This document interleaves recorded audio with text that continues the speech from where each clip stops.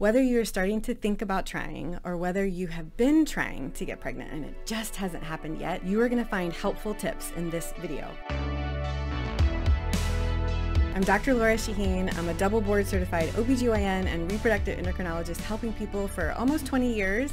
And I've got five top tips to help you get pregnant. Whether it's in clinic with my own patients or on social media, I love teaching and you can find lots of resources here on YouTube or my website, drlorashahine.com. Make sure and like and subscribe to this channel so you get my weekly videos all about reproductive health. I've been on YouTube now consistently for a little over a year and there are two videos that get an incredible response and interest and comments, almost a million views together. It's my baby making tips number one and two videos where people love asking questions and really want to learn more about these tips that I have and things that I teach my own patients every single day. So in this video, we're going to go a little bit more in depth on five of the main things you can do to help your chances of getting pregnant soon. Tip number one, tracking your menstrual cycle is crucial. You have got to know when you are ovulating and when to time trying in order to get pregnant. I see patients every day who've been trying to conceive for a year or two and they learn more about their cycle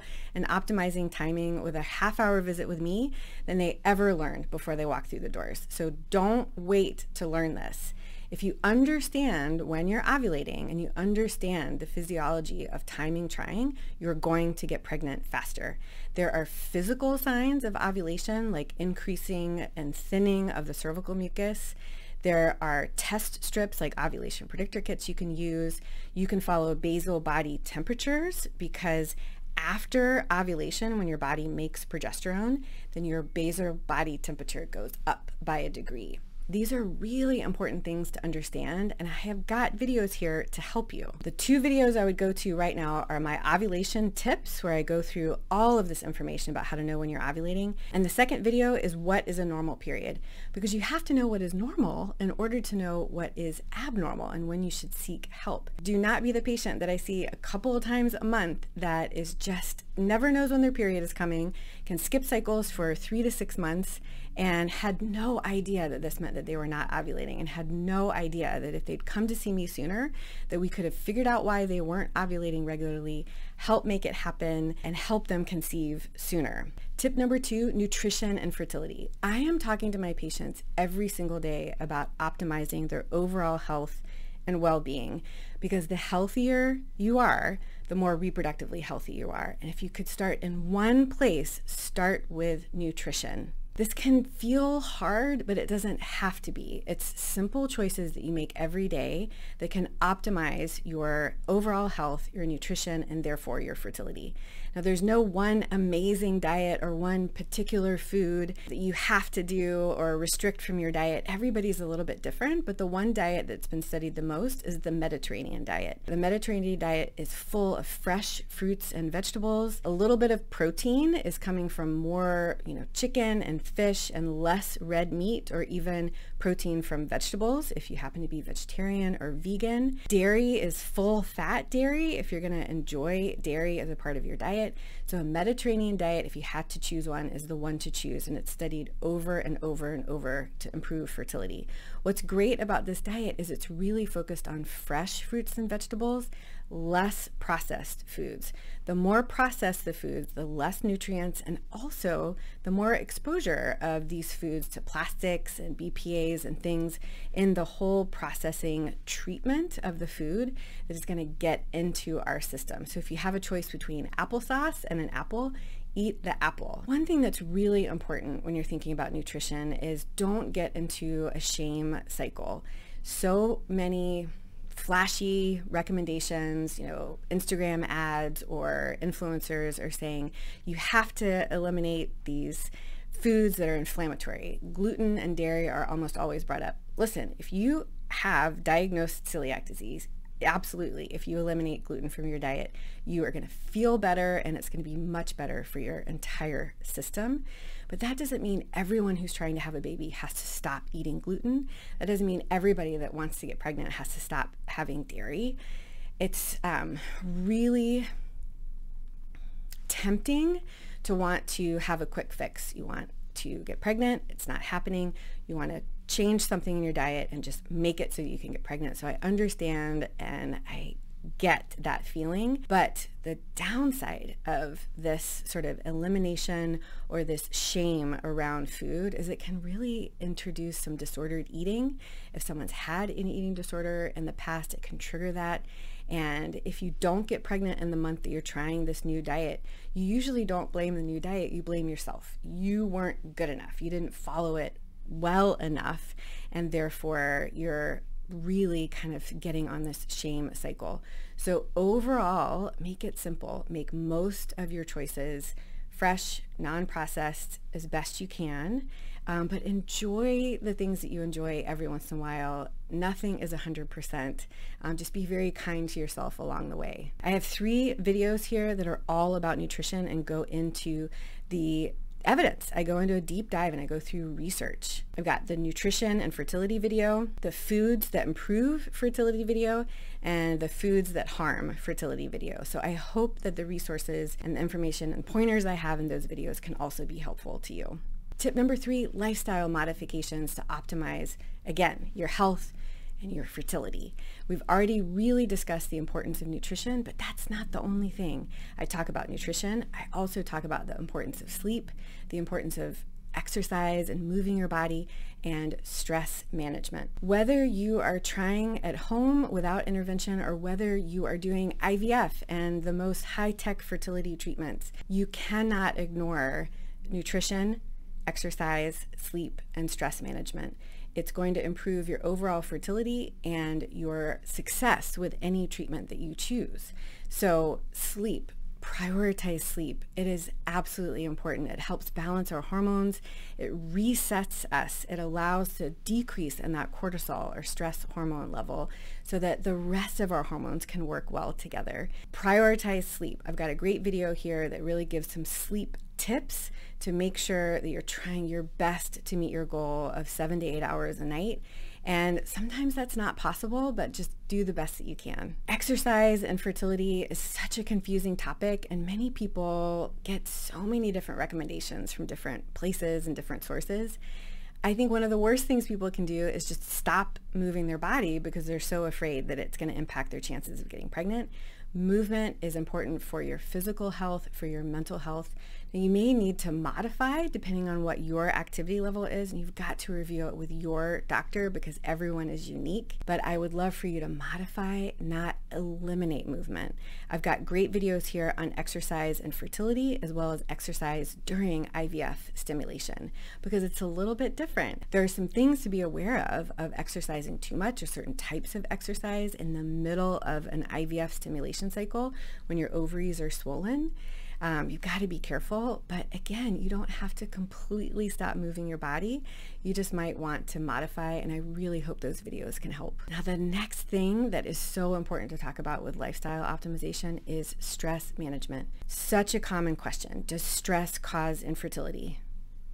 How can we figure that out? It's like the chicken or the egg. It is stressful to not have a baby when you are ready the fertility treatments are stressful. So did the stress come first and made us infertile? Or is it just that not having a baby when we are ready and trying to figure out why is extremely stressful. I talk to my patients about this every day. Listen, we cannot eliminate stress, but we all can work hard on stress management tools that are individualized to us.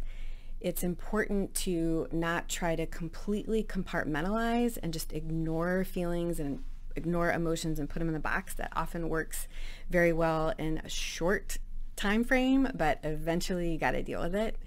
And it's got to be the right thing for you. One-on-one therapy is amazing, not for everyone.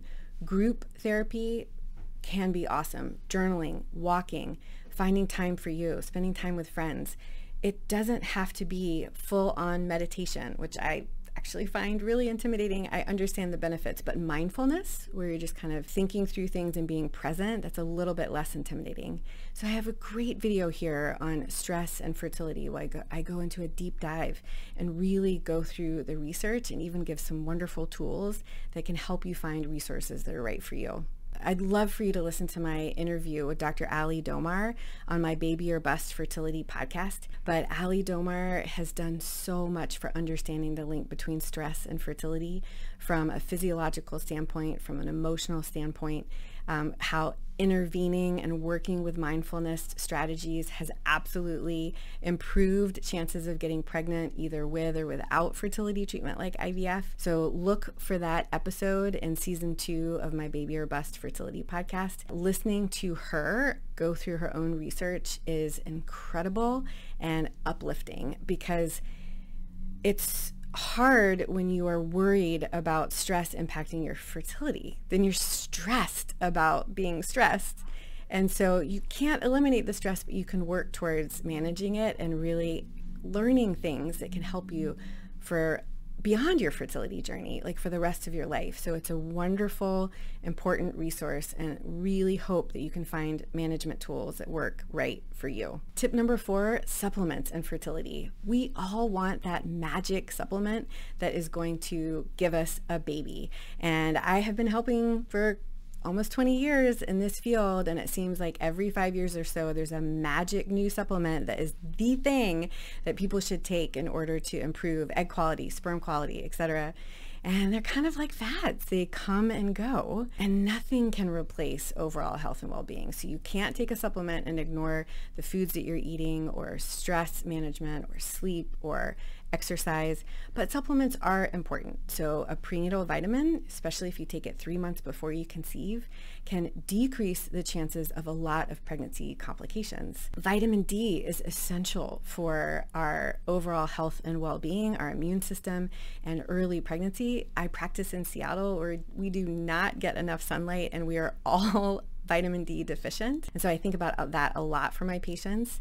I have two resources here. I have a wonderful video on how to find a right prenatal vitamin and go through some of the confusing topics like Vitamin A is essential for early baby development and your fertility, but vitamin A derivative is used for something called Accutane to help with acne. And so many people are worried about taking Accutane because high levels of this in early pregnancy are associated with birth defects. So then people are afraid of taking vitamin A. Vitamin A is an amazing antioxidant.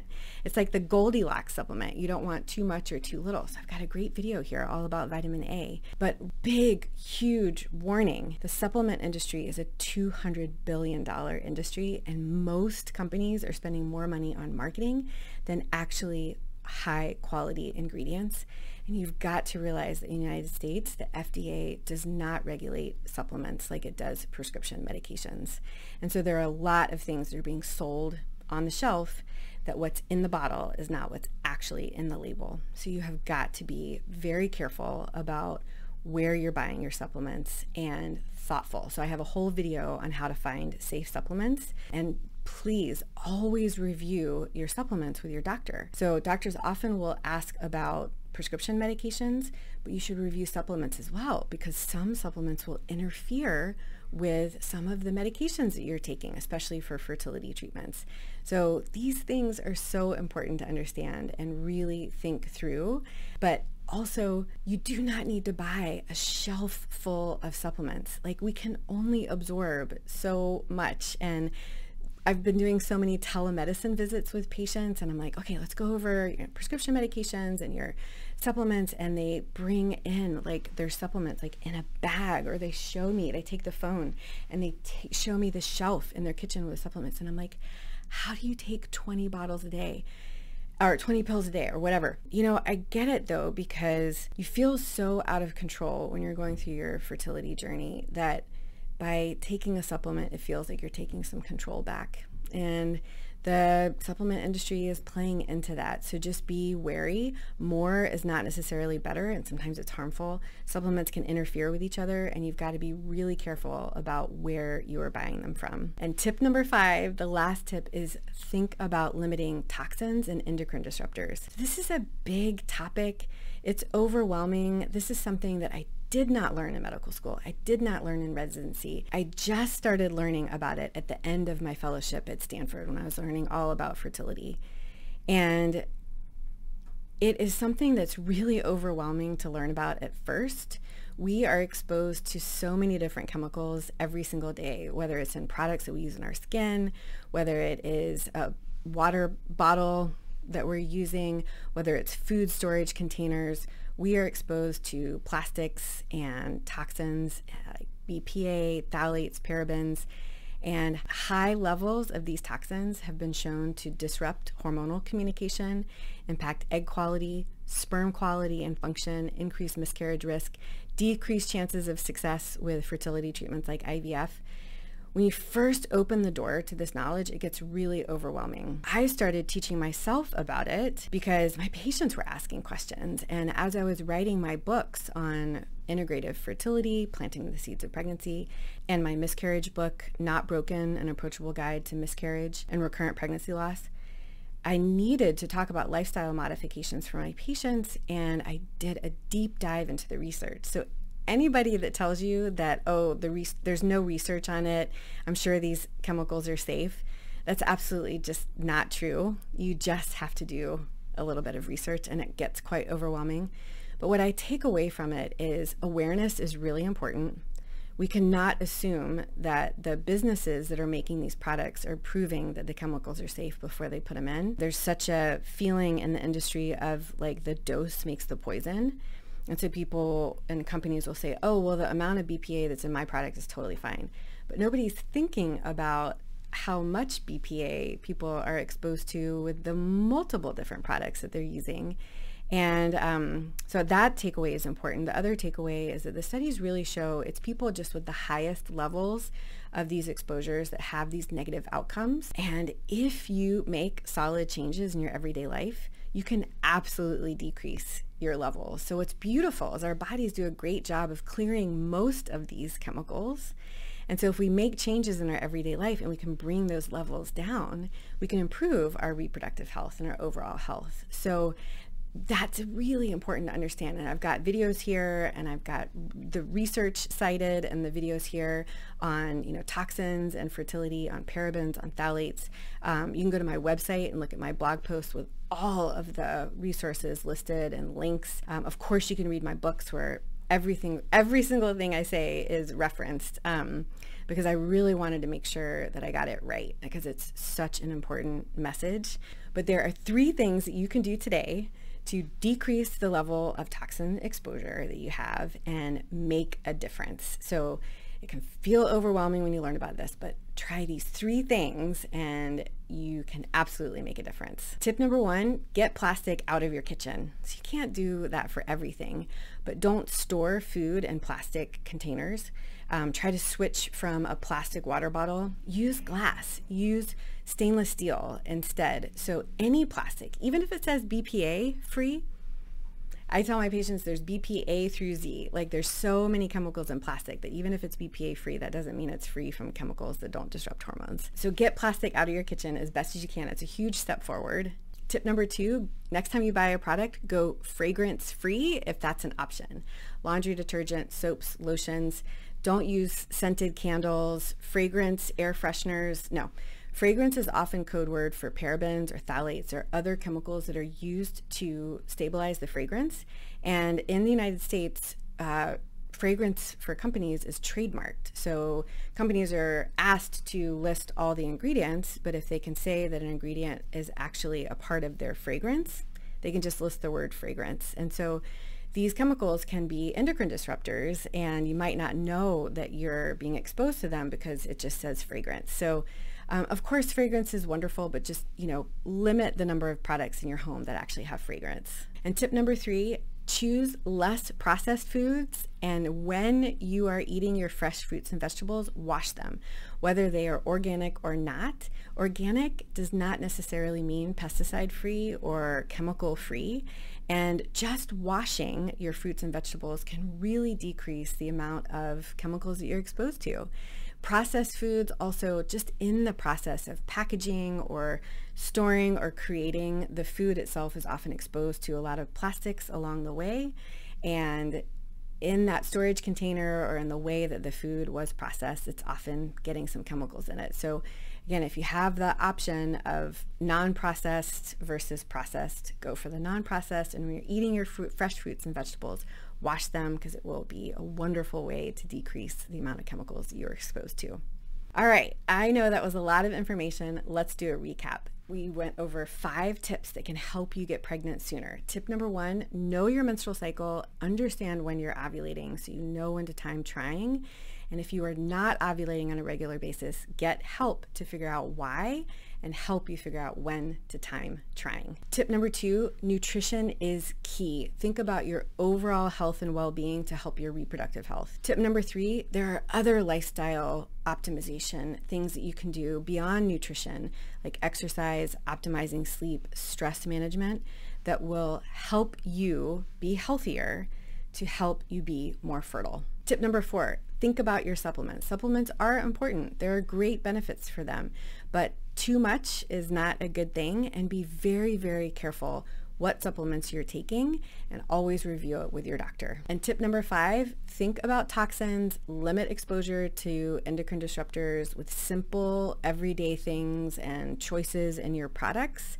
Um, making small choices can make a big difference in your fertility. I hope you learned something today. Make sure you like this video, comment with questions that you have, subscribe to this channel so you get my weekly videos on reproductive health. And as always, wishing you love, luck, and pineapples.